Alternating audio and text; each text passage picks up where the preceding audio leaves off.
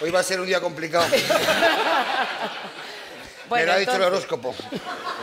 Para el hombre el objeto de deseo es la madre. ¿Qué pasa? Pues que luego esto ya viene y aparece la historia, pasan los años, y, o sea, los meses, no puede estar amamantando una mamá al bebé, y hay un momento que, nene, esto ya es Edipo Rey, incesto... Búscate no, la vida. Búscate la Eso es vida. verdad. En que- la calle buscando a otras mamás. Mamás. ¡Mamá! ¿No? Tienes toda Esto la lo decía Freud, es decir, ¿os acordáis cuando Freud decía aquello de que la dignidad nacía cuando la madre separaba al niño de su juguete, que es el excremento? Porque el primer placer del hombre son los excrementos, es defecar. Ahí, ahí te has callado, ¿eh? Pero no estamos Eh, hablando de placer, estamos hablando de deseos. De verdad, tengo ahora mismo el cerebro como una discoteca. A mí mi madre me retiró el pecho tarde porque yo era muy, yo era muy cabezudo y a los 33 ya mi padre se quejaba, se quejaba que durábamos los tres en la cama y me dijo, tú te vas ya. ¿sabes? Claro, es que ahí interviene. Tiene y luego os pegáis razón. toda la vida buscando a la madre ideal, conseguís casaros con la madre ideal, que porque esos deseos ahí va. La madre os dice, y yo quiero, cariño mío, que seas sensible, culto, cariñoso, que pagues las facturas, que tengas un trabajo, que limpies, que planches, que tal. Y os pegáis buscando la vida, o sea, os, os pegáis la vida buscando otra madre en la calle, la conseguís, os casáis con ella, y cuando ya la tenéis, os vais a buscar otras mamás. Y lo entendemos. Las mujeres vivimos equivocadas. Vivís con ese deseo, nacéis con ese deseo y tenéis que seguir viviendo con ese deseo. Las equivocadas somos nosotras. Pero estás... Ahí, ahí, ahí.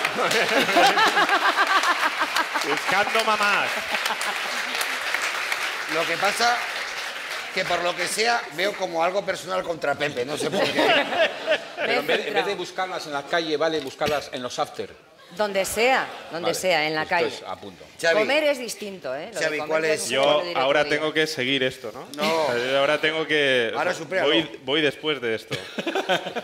No sé. Yo, yo soy muy cinéfilo y yo creo que, que el primer deseo del hombre está, está plasmado en 2001 de Kubrick, ¿no? Que están ahí como... Están, pi- lo que es, lo- es una metáfora de pedir eh, wifi gratis, ¿no? Es- eso es lo que quería decirnos, ¿no? Pero la escena de los Los monos. El, el monolito, sí. El Ah. monolito representa wifi, ¿no? Un router más bien, sí. Un sí. router, exacto. Y lo consiguieron rápido, ¿no?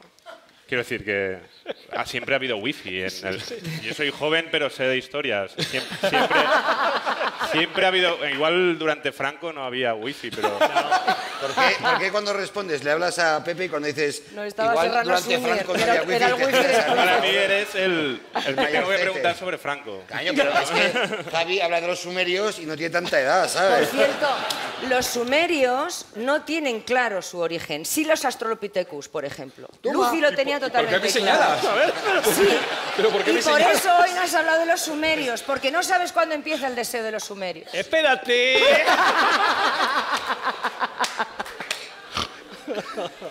Tú, Pepe, ¿cuándo crees que el hombre empezó a desear? Pues eh, eh, voy a cambiar un poco. Es el primer deseo, era la pregunta que me gusta como, más. Como decir lo que os da la gana, que más me da. El primer deseo del, del homínido primigenio, que es el primero. Utilizar es- nombres ¿De quién estás normales también, por favor, lo pido. Pero Utilizar sapiens nombres. sapiens. No, Sí, no, no. Sapiens sapiens, nada Sapiens de sapiens, antecesors de que no van a ningún O lado. sea, no, Lucy no. Es erguirse, es caminar, es estar de pie, incorporado. ¿Por qué? Porque así le quedan dos manos para cascársela.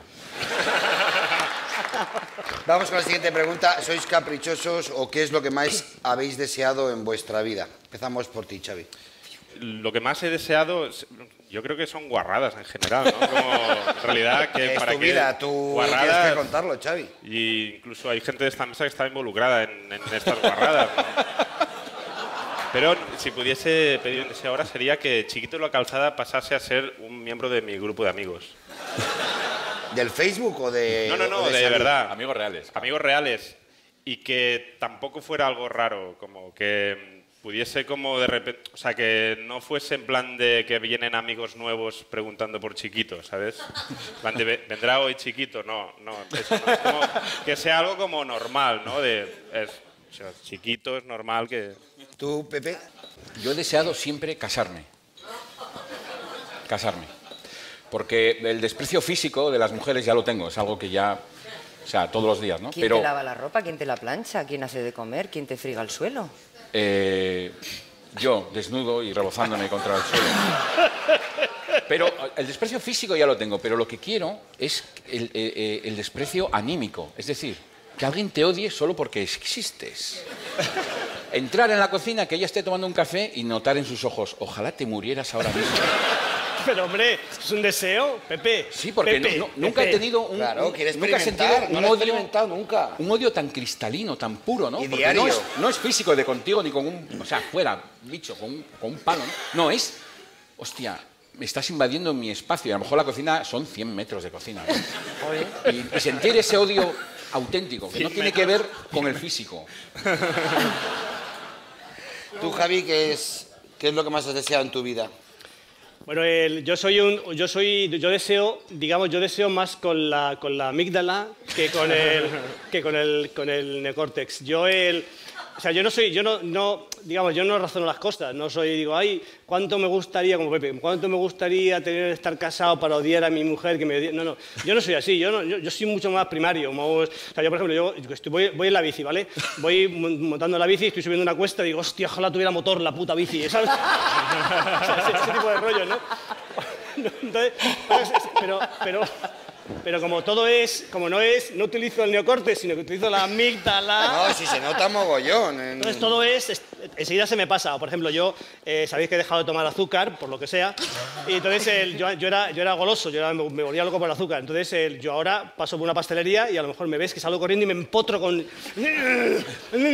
Pero se me pasa enseguida. Digamos que el, el capricho, o sea, he sido caprichoso, digamos, de, de camisas. O sea, eso sí que para mí, yo, yo no tengo coche, no tengo nada de lujo, excepto que tengo una colección de 200 camisas.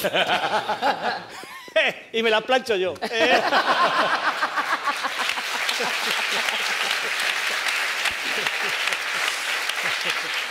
Marilo, ¿qué es lo que más has deseado en tu vida? Es que tú preguntabas lo del capricho y el deseo. Y capricho es una cosa Amiga. y deseo es otra. Y como me lo, has has puesto en la pregunta, voy a decir un capricho y un deseo. Muy bien, pues tira, si esto luego se edita. El deseo. Y esto las chicas me vais a entender. No te mira a ti como chica. Yo me acuerdo cuando, cuando Brad Pitt le pusieron que es el único hombre que ha hecho el anuncio de Chanel, la colonia número 5. es verdad. Sí, lo, eh, sí, sí, sí. Que fue marketing muy arriesgado por parte de... Es verdad, o sea, a Brad Pitt le ponen la cara en el spot, le ponen la cara y ya está. Y dice, mira, perdóname, esto está mal hecho. Entonces, cuando lo sacaron, yo dije... ¿Esto está mal hecho? ¿Te refieres a Brad Pitt? No, el anuncio, pero yo le hubiera puesto desnudo, boca abajo, medio igual la manta donde estuviera apoyado porque no se iba a ver. Y ahora, en blanco y negro a la imagen, habría dejado caer una gotita de Chanel número 5 por el surco de su espalda. Que se poniendo cachondo, deslizando Marilo. Hasta que llegara a las lumbares que hacen así con el cabanance de las nalgas y aquello hiciera... Es que estás hablando de mí.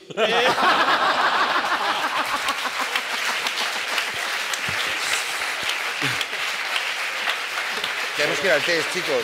Eh, Ay, el test. Claro, es que Marilo, este programa es muy... Tú estás en las mañanas, que eso dura mucho. Pero es que estos son 24 minutos y Me he de... quedado sin el capricho. Y vamos al... eh, ya- capricho. El capricho, Que joder. lo Venga, cuente, venga, el joder, capricho, échale Marilo, huevos. venga. No, el capricho era ese, lo El que- no, era otro. Ese es Coño, el deseo. pides todo, Ah, vale. No, porque el capricho es el capricho, un es- sentimiento de malcriado, que es distinto. El Eso deseo es, un- caprichoso. Hay que caprichoso. Lo de Es algo- en pelotas no es malcriado, es como bien, bien.